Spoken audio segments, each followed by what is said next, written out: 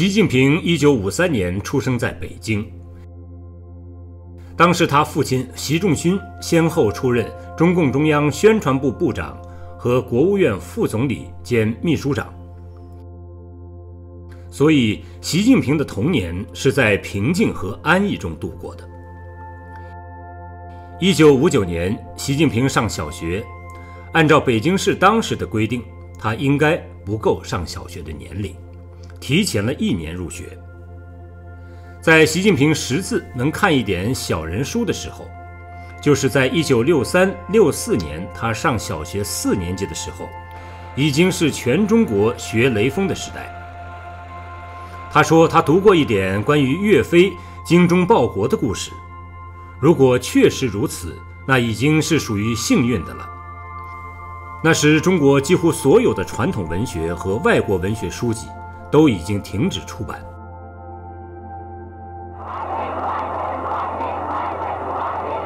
一九六六年，文革爆发，当时只有十三岁的习近平不再上课了。后来学校复课闹革命，但是实际上也没有像样的教材，教师更是被来回折腾，所以也并没有正经上课。在习近平出生的上个世纪五十年代。中国老百姓吃了不少苦。五十年代血腥残酷的政治运动，习近平应该没有什么记忆。五十年代末六十年代初的三年大饥荒时期，数千万农民饿死，全中国的人几乎都食不果腹。但是对于习近平，同龄青少年饥饿难耐的感觉，他是没有的。因为高干家庭享受特供饮食。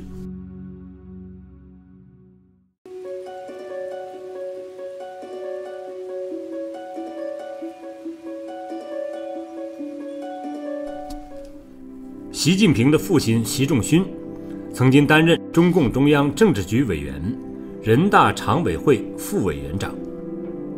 据习仲勋的传记和他的妻子齐心的叙述。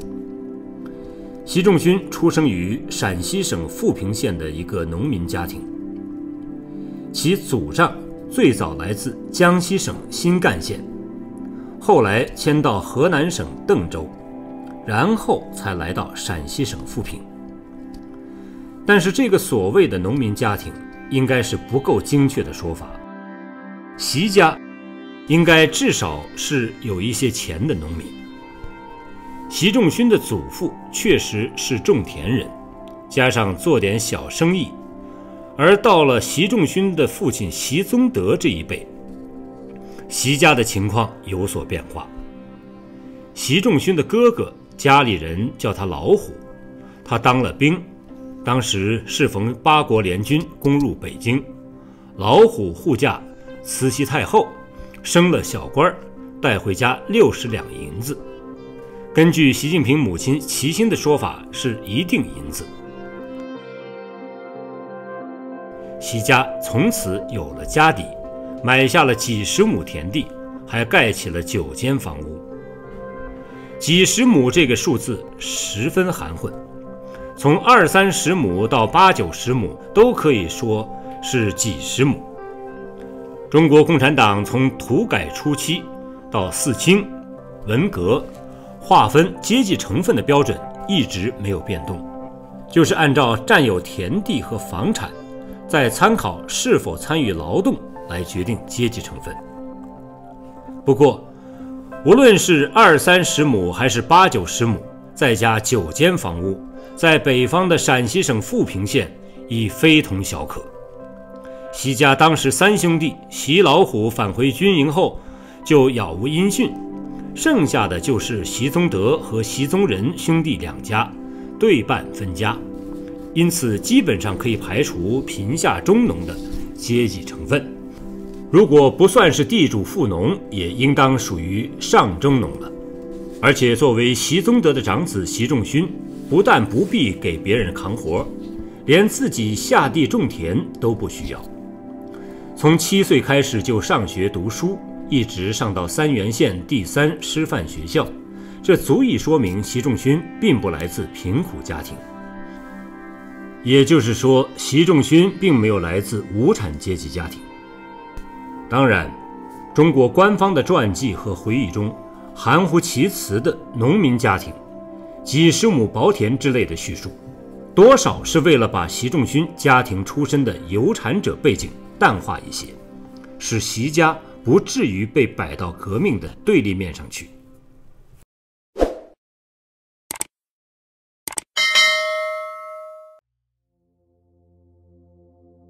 习仲勋的两次婚姻都是共产党革命成就的。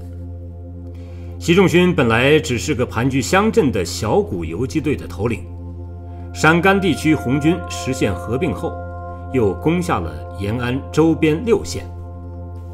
延安的苏维埃真的成了一府数县的地方割据政权，征税、征粮、征兵。习仲勋受命担任延安苏维埃主席。虽比不得皇朝的府尹老爷，在当地的百姓眼里，俨然也算是一方的行政长官。长官娶媳妇，娶的是瓦窑堡的美人郝明珠，人称黑牡丹。郝明珠可不是一般的陕北村姑，她知书识礼，能说能写，不久也当上了环县的妇女干部。她和习仲勋成婚九年。为习仲勋生了五个孩子，其中有两个夭折，留下的是习近平同父异母的大哥和两个姐姐。人们普遍知道，习仲勋的命是毛泽东率领的中共的中央红军救下来的。从南方败退的中共的中央红军到达陕北的时候，正是陕北红军搞肃反的时候，已经处死三百四十多人。非常恐怖。中央红军到达以后，要求陕北的肃反委员会刀下留人，救出了刘志丹、高岗和习仲勋。据习仲勋说，如果毛泽东的队伍再晚来四天，他和刘志丹、高岗等人都已经被活埋了。中央红军制止了内部肃反的血腥屠杀。随着延安成为中共中央的驻地，大量所谓的进步青年，包括城市青年和青年女学生，为了参加抗日救亡而到延安。他们进入了中共在延安的各个机关、学校。此时，中共的高级干部们发生了一场换妻潮，就是抛弃了原来的妻子，或者是乡下的糟糠之妻，或者是一起闹革命的革命妻子。另寻新欢。毛泽东娶了从上海来的电影演员江青、刘少奇、邓小平、林彪、林伯渠、贺龙、陈毅、刘伯承、谢觉哉、彭德怀、高岗等人都陆续娶了来自大城市的青年女学生做太太。革命红歌《东方红》原是从《芝麻油》和《骑白马》两首陕北民歌改编而来的。原本俗曲所唱的歌词就是：“三八枪没盖盖，八路军当兵没太太。待到打进榆林城，忽而还有一人娶一个女学生。”当然，普通当兵的是不可能的，但是中共高干换新妻却非常普遍的实现了。习近平的母亲齐心十三岁时跟随他的姐姐齐云奔赴延安，在抗日军政大学中学部等机关学习工作入党，后来多年在党校工作。一九四四年四月二十二日，十七岁的女学生齐心跟习仲勋结婚。同年初冬的十月，习仲勋才与原配郝明珠离婚。离婚前，双方有书信，互相指责、怨怼。习仲勋指责郝明珠不愿意跟随他到绥远是有外心，实际上是当时郝明珠正遇难产，身心痛苦，所以没有随丈夫迁移。离婚时，郝明珠只有二十七岁，但是她从此再未婚嫁。一九六二年。当时由中共陕北根据地创建人刘志丹的弟媳李建彤写的小说《刘志丹》，被说成要为已经被打倒的陕北根据地的创建人、前中共中央政治局委员和国家副主席高岗翻案，定为反党小说。实际上，这本小说根本就没有出版。习近平的父亲习仲勋受到牵连，被毛泽东指责利用小说反党，因此受到整肃。习仲勋因此离开副总理职位，但是仍保留公职，没有被逮捕关押、内部处分。而且，中共副主席、总理周恩来一再叮嘱习仲勋不要想不开，即不要自杀。习仲勋被安排到中共中央党校西工所学习，就是接受审查。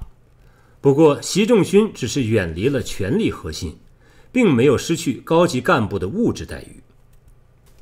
由于习近平母亲齐心本来就在中共中央党校工作，所以实际上当时习仲勋夫妇同在党校。从1962年习仲勋被整肃开始，习近平一家的处境开始恶化。文革前夕的1965年，习仲勋被下放到河南省洛阳矿山机器厂出任副厂长。这家工厂不是一般的地方单位，而是河南省重要的国营大厂。当然，习仲勋到那里去，并不是要让他真正去管理工厂，而只不过是降级挂职、反省审查，拿一份干薪而已。习仲勋当时党籍还在，仍然是高干，工资未减，但是夫妻从此开始分居两地。此时的习近平并没有被赶出高干子弟群体，依然属于高干子女。就在1965年这一年，习近平进入了高干子弟云集的北京八一学校读初中一年级。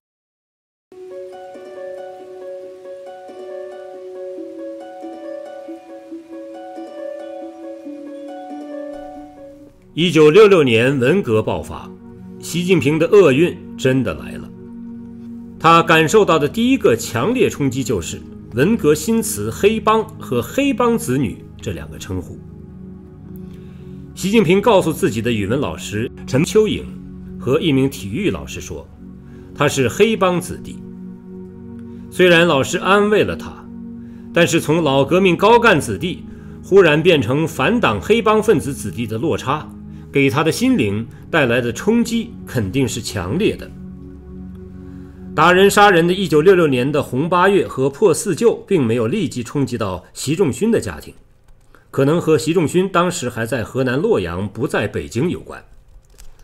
四旧指的是旧思想、旧文化、旧风俗、旧习惯。但是在此之后，习仲勋头上的反党集团首犯的恶名，还是逐渐缓缓袭来。当文革浪潮从横扫一切牛鬼蛇神。就是从打击地主、富农、反革命、坏分子和右派的地富反坏右，深入转向打击走资本主义道路的当权派的走资派的时候，习家遭受了冲击。一九六七年初，习仲勋被抄家，全家被扫地出门，迁出北京市东城区交道口的四合院。这应该是文革给习近平少年时代留下印象的实质冲击。但是，比起那些地富反坏右、资本家、房产主、文艺界名人和大中学校的教授老师来说，这次冲击还不算太严重，因为当时已经过了破四旧的疯狂高潮。在北京市红八月那场造反高潮中，北京共有一千七百七十二人被活活打死。约有十万个家庭被阖家扫地出门，赶到农村去，而习近平一家远非如此凄惨。他们被安排搬入了中共中央党校职工宿舍，也就是到习近平母亲齐心工作的地方。在中央党校里，当然已经没有高干官邸的电话和秘书、警卫员，但是衣食住行还是基本跟教职员工不相上下。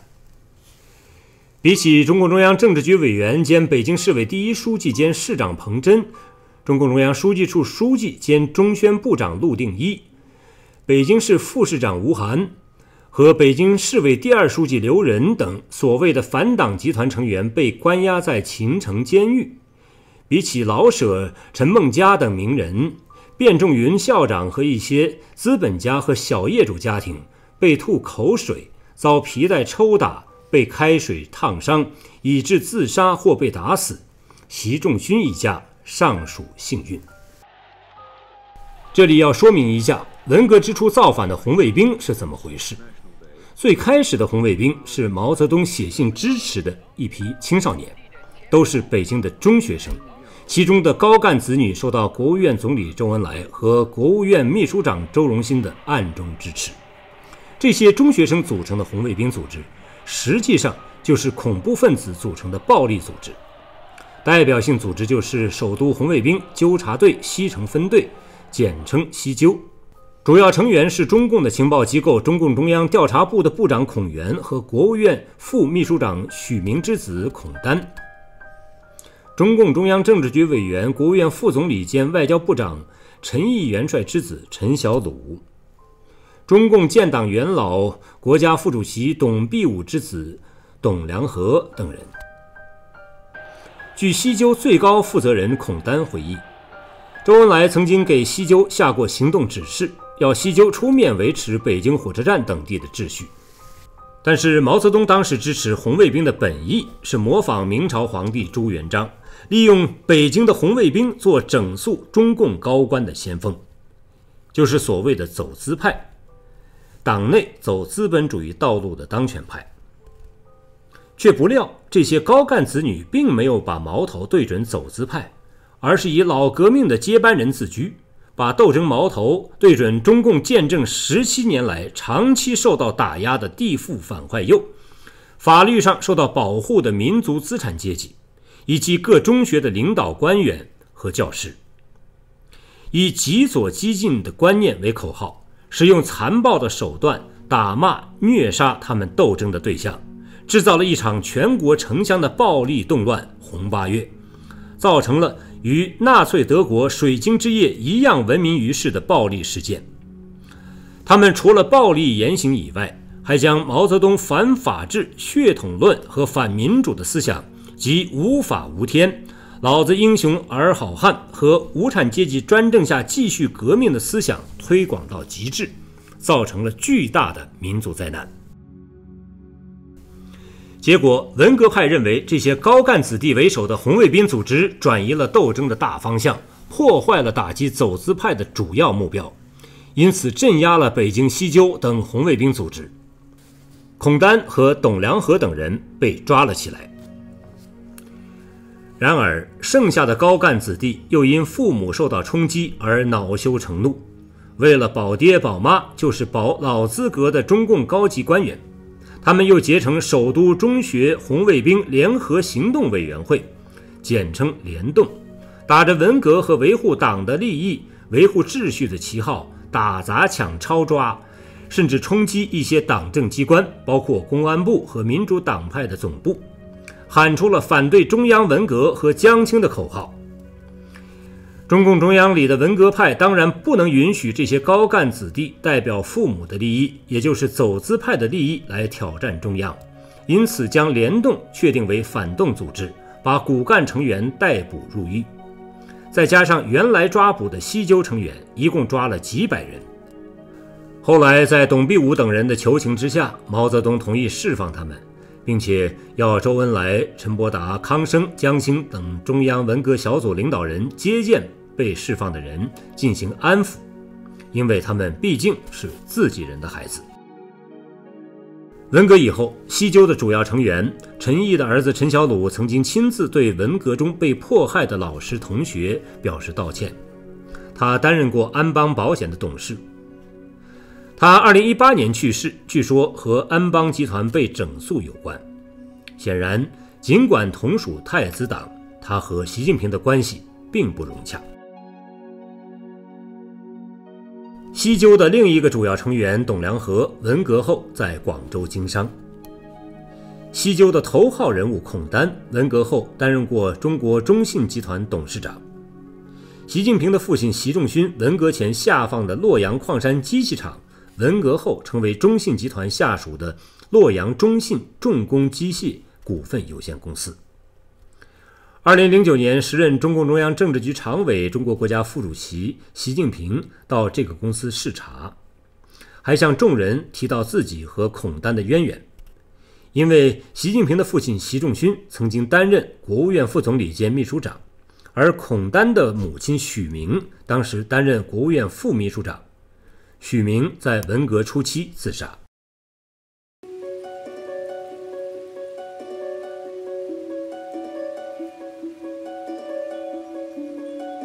一九六七年初，习近平父亲习仲勋作为反党集团首要分子的事情被逐渐公开。他的家庭受到了冲击。习近平从小生活条件优越，用他自己的话讲，吃的都是精米细面，被称为老干部的孩子。忽然间，他变成黑帮的子弟，他的失落感和对文革的抵触情绪应该是非常强烈。他的想法和高干子弟组成的联动应该是一拍即合。最直接的表现就是反对文革。仇视毛泽东的夫人、中央文革小组副组长江青和中央文革，这种所谓的联动思想，不仅在他十四岁的少年时代十分严重，议论江青的言论，直到他入党时还再次出现，差点惹出大事。中国围棋名人聂卫平从小就和习近平认识，算是发小。根据聂卫平的回忆，由于高干子女云集的北京八一学校被解散，习近平被安排到北京第二十五中学和他同班。当时还有一个叫刘卫平的同学，是中国空军副司令刘震上将的儿子。当时刘震因为跟林彪的亲信吴法宪争权夺利，被打成黑帮。当时不论搞什么活动，一开场都要喊毛主席万寿无疆。喊林副主席身体健康，刘卫平就不喊那个身体健康。而聂卫平的父亲是个局级官员，当时也成了黑帮。于是，习近平、聂卫平和刘卫平三个同病相怜的人成了好朋友。由于三个人的名字的最后一个字都是“平”，所以人称“三平”。他们在班上是家庭最黑的人。聂卫平回忆说：“当时班上的人都看不起我们，也不敢沾我们，我们也看不起他们。和校外的老红卫兵联系很多，这主要是习近平和刘卫平的关系。在他们俩的影响下，我的感情明显的转向老红卫兵了。这里所谓的老红卫兵，主要就是坚持联动思想、要保爹保妈的那些高干子弟。”习近平不仅跟他们思想一致，还至少参与过一次这些人组织的武斗行动。那一次，他们中了对方的埋伏，习近平和聂卫平逃得快，幸免于难，而刘卫平没有及时逃脱，结果被打成脑震荡。这是习近平生平中的首次政治参与，就是参加联动组织的武斗。习近平和聂卫平在文革中结下的友谊持续了一辈子，两个人一直保持密切的联系。据聂卫平回忆，1993年，习近平担任福建省代省长期间，他曾经和邓小平的儿子邓朴方各自携带妻子一起去福州找习近平打桥牌。聂卫平还在2010年3月回忆说，习近平在担任中共浙江省委书记期间。聂卫平的围棋队需要企业赞助，习近平就在饭桌上对一些房地产老板说：“围棋很好，还是要大力支持。”第二天，那些房地产大老板纷纷表示要大力赞助聂卫平的围棋队。这一方面显示习近平重友谊、讲情义，但另一方面也无意中透露出来，习近平也会像其他官员一样。利用手中的权力和影响，为朋友谋取利益。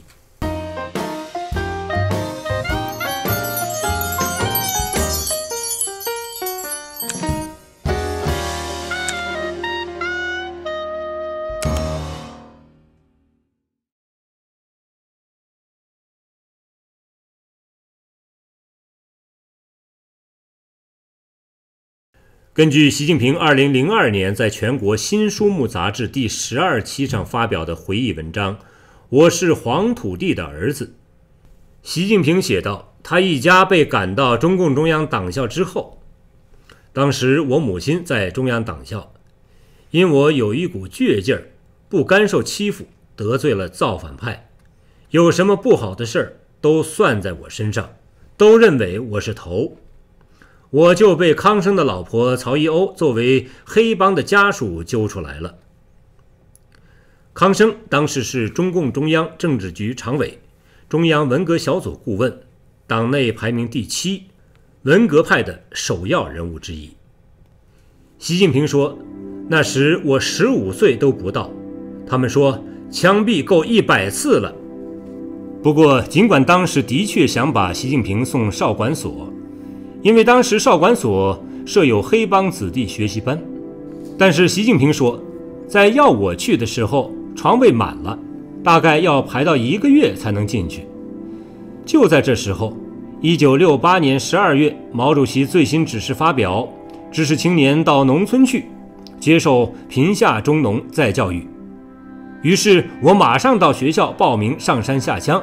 我说这是响应毛主席号召。他们一看是到延安去，基本上属于流放，就让去了。于是，习近平带着离开北京避难的想法，欢天喜地前往陕西省延安地区。